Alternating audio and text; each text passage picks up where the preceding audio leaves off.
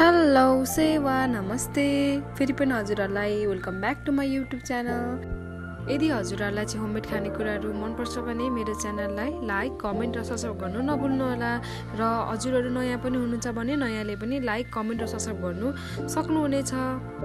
हजुरहरूले आज स्क्रिनमा अघि नै देखिसक्नु भएको छ होला सो आज चाहिँ मैले हजुरहरूलाई समोसाको रेसिपी सेयर गर्नु गइरहेको छु सो लेट्स स्टार्ट स्टार्टिङमा चाहिँ मैले यहाँ यसरी सुरुमा यो मैदा लिएको छु। सो मैदा चाहिँ यहाँ यति मैले हाफ केजी जति छ त्यस पछाडि यो चाहिँ मैले आलु यो चाहिँ आलु चाहिँ हाम्रो अलरेडी बोइल भइसकेको छ।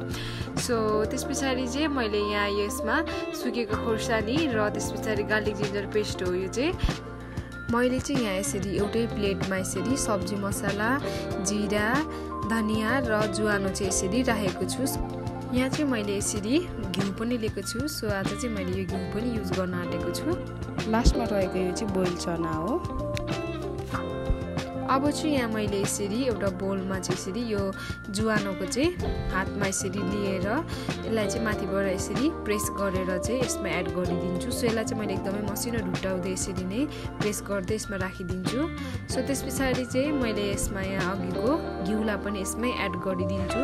सो यसलाई चाहिँ मैले घिउ पनि यसमै एड गरिसकेपछि यसलाई चाहिँ मजाले यसरी मिक्स गर्नुपर्ने हुन्छ। सो यसलाई चाहिँ मैले मिक्स गरेर यसरी साह्रो बनाएको छु।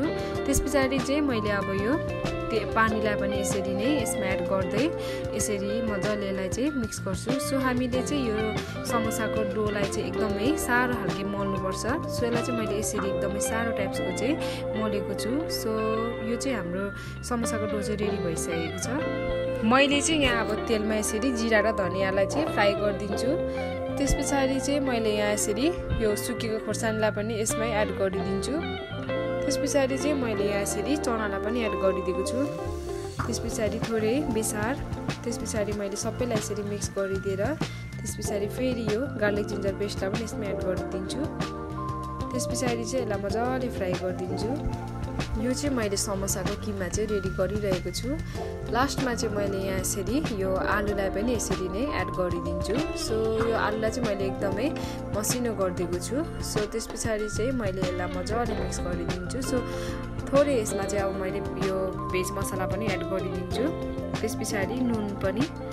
नुनलाई चाहिँ एड गरिसकेपछि मैले यहाँ फेरि थोरै खुर्सानीको पाउडर पनि यसमा युज गरिदिन्छु। अब चाहिँ यो समोसाको किमा पनि रेडी भइसक्यो। अब चाहिँ मैले यसरी यो डोलाई चाहिँ यसरी बेलिरहेको छु सो यो चाहिँ एकदमै साह्रो छ। सो त्यस पछाडि चाहिँ मैले यो यसरी डो बेलिसकेपछि चाहिँ मैले चाहिँ यसलाई हाफ कट गरिदिन्छु यसको बिचमा। सो यसलाई चाहिँ मैले यसरी हातमा फोल्ड गरेर कोन सेपमा बनाएर चाहिँ यसरी यहाँ यो किमाहरू चाहिँ एड गरिदिन्छु। सो त्यस पछाडि मैले चाहिँ यसलाई फेरि यसरी नै फोल्ड गरिदिन्छु।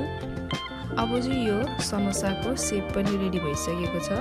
सो यसरी नै चाहिँ यो हजुरहरूले समोसा यसरी बनाउनु सक्नुहुनेछ। अब चाहिँ यो समोसाहरू पनि रेडी भइसकेको छ। सो मैले चाहिँ यता यो तेलमा चाहिँ एकदमै लो फ्लेममा पकाइरहेको छु। सो स्टार्टिङमा चाहिँ हामीले चाहिँ एकदमै लो फ्लेममा चाहिँ यसलाई पकाउनुपर्छ। सो त्यस पछाडि चाहिँ यसको अलिकति कलरहरू आउँदै गइसकेपछि चाहिँ हामीले हल्का हिटलाई बढाउनुपर्छ। सो हिटलाई चाहिँ यसरी बढाइसकेपछि चाहिँ हाम्रो यो समोसा चाहिँ यसरी रेडी हुन्छ। सो त्यस पछाडि चाहिँ यो हाम्रो समोसा पनि रेडी भइसकेको छ। सो यसरी नै हजुरहरूले चाहिँ घरमा चाहिँ समोसाहरू चाहिँ बनाउन सक्नुहुनेछ। मैले चाहिँ यहाँ यसरी एउटा प्लेटमा चाहिँ सर्भ गरेको छु समोसालाई। सो हजुरहरूले पनि घरमा यसरी नै यो समोसालाई बनाउनु सक्नुहुनेछ। So thank you so much for watching my video